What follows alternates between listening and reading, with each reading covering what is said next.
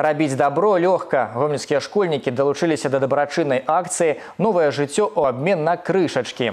Перад пачаткам сустрэчы кожны жадаючы мог зрабіць свой уклад і пакінуць сабраныя пластикавыя крышачкі ў кантэйнеры. Іх адправяць на перапрацоўку. Атрыманыя сродкі перавядуць на лячэнне хворым людзям і набыццё сродкаў рэабілітацыі. Падчас мерапрыемства дзецям распавялі, як збіраць пластикавае смецце. Были собраны педагоги, организаторы всех э, школ Центрального района. Э, Им была передана информация о том, что вот сейчас проходит такая акция, и, в принципе, она проходит постоянно.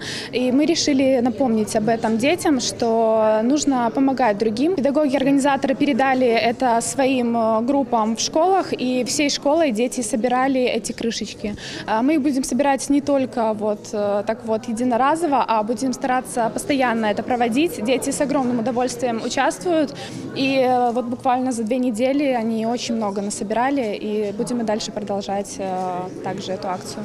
Ініцыятар рэспубліканскага праекта жыхарка ліды Наталья Кунцевіч. Сёння ў гэтым руху задзейнічана звыш 100 школ, прадпрыемстваў і гіпермаркетаў у большым 50 гарадах і пасёлках Беларусі. Гэты вопыт распаўсюджаны ў шматлікіх краінах свету, у тым ліку ў рассіі, Украіне, Польшы, Літве і Латвіі.